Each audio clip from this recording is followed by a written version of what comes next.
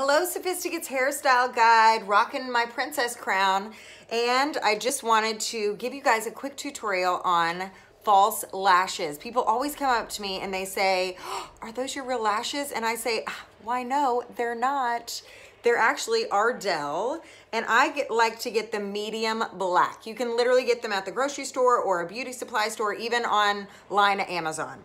So you also need the eyelash adhesive. And what you're gonna do is you're gonna squirt a tiny little bit, like I did here, on the edge. You're gonna get tweezers, and this is how easy it is. People say, how do you do that? You pull it off with the tweezers, you dip it in the glue, and then you literally place it on your lash line. And you can do as many as you want. If you wanna just do a cat eye, you can just do like three on, on the end or four on the end. I've literally, for a red carpet before, used an entire pack. So if you like a little drama like I do, then place them all on there. And let me just show you, that's just four. And look at what a giant difference that makes, how much that opens up your eyes. If you wanna move them in, you can do that as well. And then sometimes if you want a more natural look, you can literally just leave it.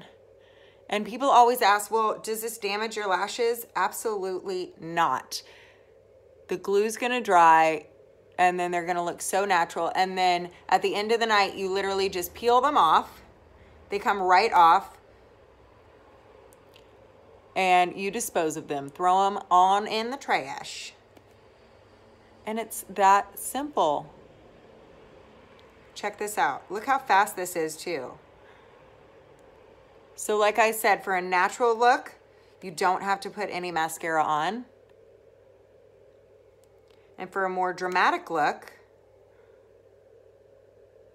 you can just top them right off with your normal mascara that you use. And if you want even a little bit more drama, you can layer them, which is always fun to do. Okay, there you go. Oh, oh my gosh, I'm so ready for whatever the day has for me. All right, I'll see you next time on sophisticateshairstyleguide.com. Bye.